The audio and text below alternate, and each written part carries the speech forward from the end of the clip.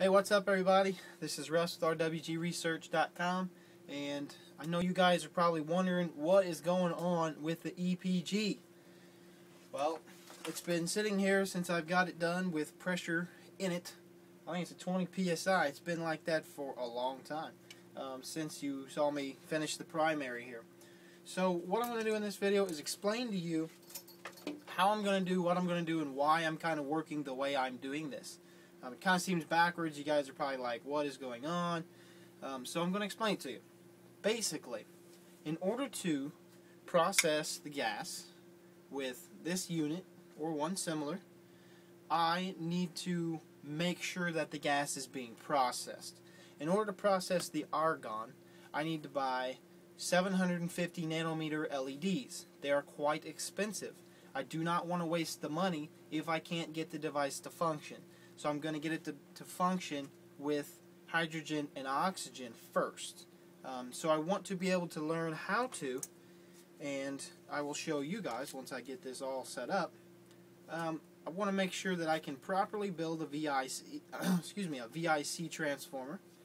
Okay, and that is because I need to be able to make a high voltage with a basically no current flow and also it's it's almost like a stagnant high voltage field. There's like no electron movement. It's literally just oscillating really tightly, just like this, on both sides of that capacitor, which would be the inside of this processor, the stainless steel you see inside here.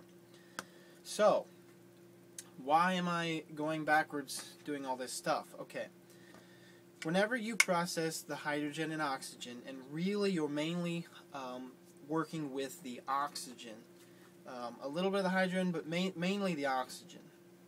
And the reason is, is there is, um, you have to have between six and eight electrons to covalently link up the water molecule when you ignite it. Um, so basically, if you take a HHO cell of some sort and you burn the gas, it turns back into water right away. It's a water vapor right away. And it it produces a certain amount of thermal energy.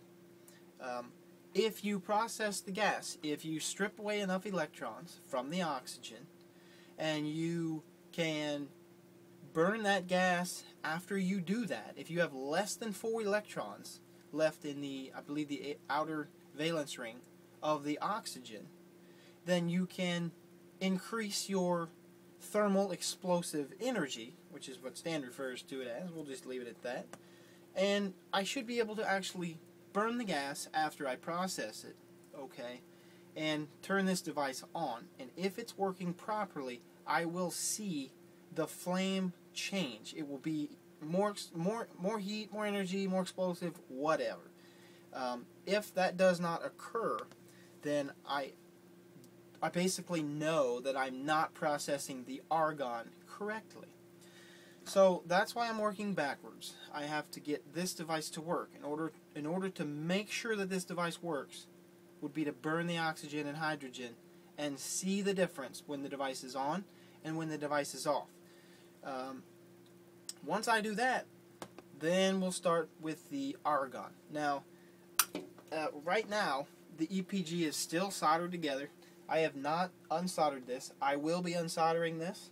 I will be putting spacers in here, and I will be gluing this nice and, uh, uh, you know, seal it up nice so that the conductive copper here is not touching anything else. So you actually have a coil here. Right now you just kind of have a dead short, um, and I don't like that. I think that there's a special property with the copper, and I think there's a special property with being able to isolate these.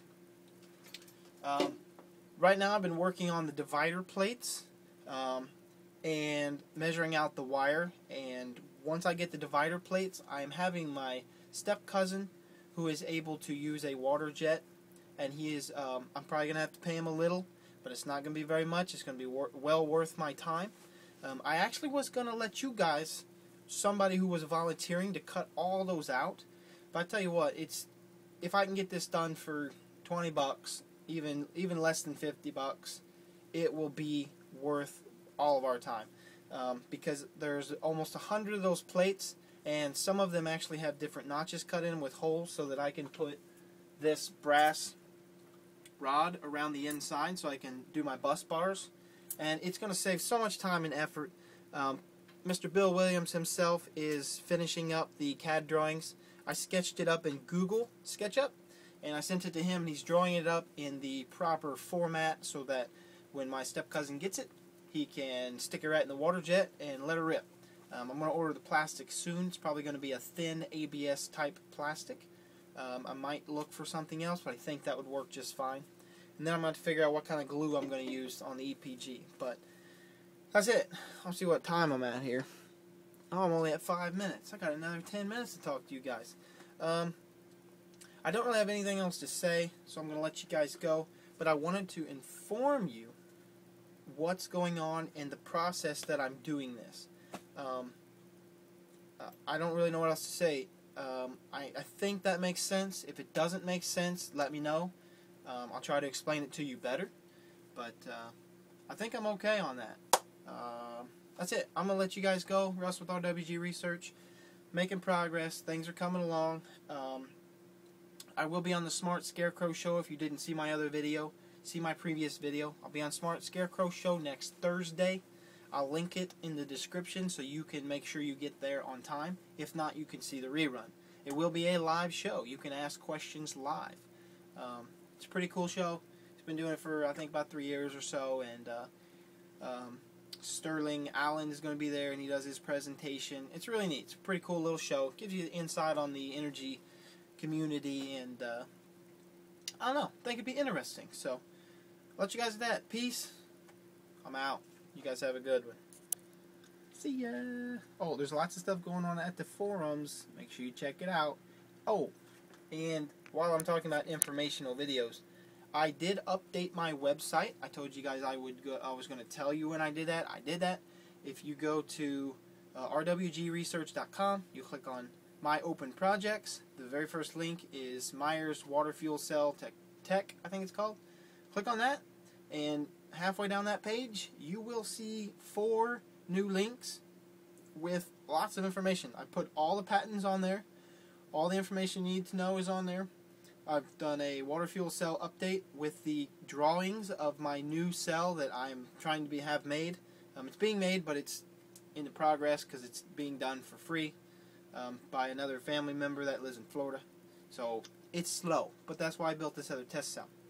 Um, the EPG webpage has been updated with new photographs of this.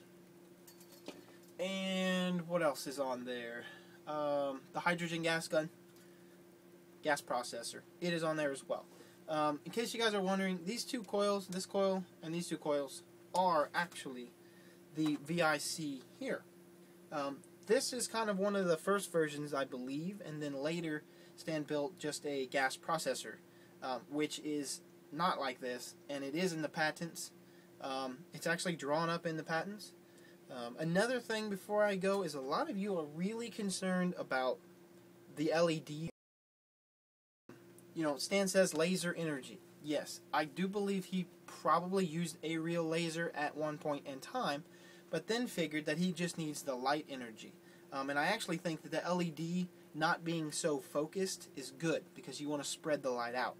I know that the, the laser would reflect inside the chamber, but I think that if you have a more overall broadband, just light shining in this thing, you'd be better off. And I believe that's what Stan figured out.